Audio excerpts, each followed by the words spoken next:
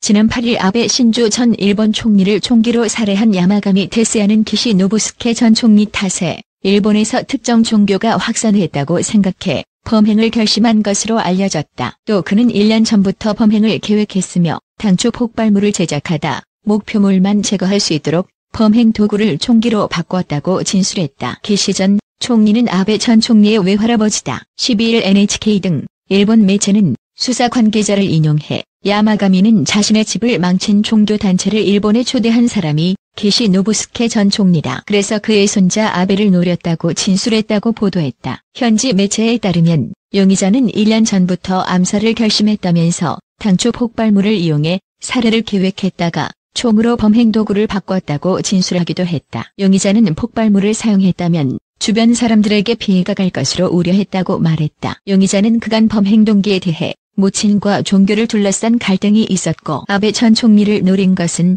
그가 어머니의 종교단체와 유대가 깊기 때문이라는 설명을 냈다. 그는 모친이 종교단체에 빠져 고액의 기부를 하는 등 가정생활이 파탄났다고 주장했다. 이와 관련해 세계평화통일가정연합 측은 11일 기자회견을 열고 용의자의 모친은 신자였고 최근까지도 매달 한 번씩 행사에 참석했다고 시인했다. 다만 아베 신조 전 총리에게 총격을 가한 용의자 야마가미 테스야는 가정연합에 속한 신자가 아니며 과거에도 본 연합에 가입했다는 기록이 존재하지 않는다고 밝혔다. 경찰은 용의자가 아베 전 총리를 피살하기 전날 한 종교 시설에서 총기를 시험 사격했다는 진술에 따라 현장 검증을 했다. 이 결과 경찰은 해당 건물의 외벽에서 탄원을 확인할 수 있었다. 요미우리 신문은 전날 수사 관계자를 인용해 야마가미가 아베 전 총리를 살해하기 전날인 7일 나라시에 있는 종교단체 시설을 향해 사제총을 시험 발사했다고 진술했다고 보도했다. 야마가미는 건물을 향해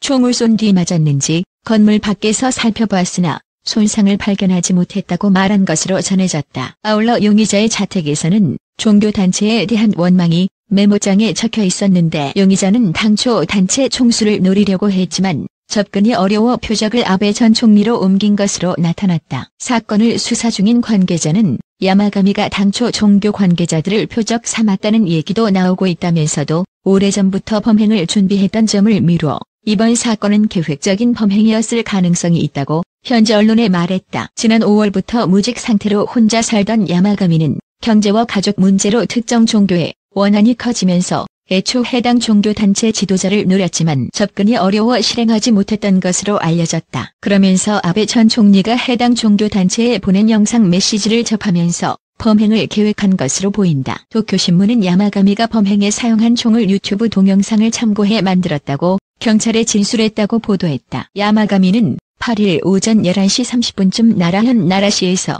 자민당 참의원 선거 후보에 대한 지원 유세에 나섰던 아베 전 총리에게 접근해 자신이 제작한 총으로 총격을 가했다. 사인은 좌우 쇄골화 동맥 손상에 의한 실혈사 과도 출혈로 숨졌다고 병원 측은 발표했다. 아베 전 총리는 오후 5시 3분쯤 사망 판정을 받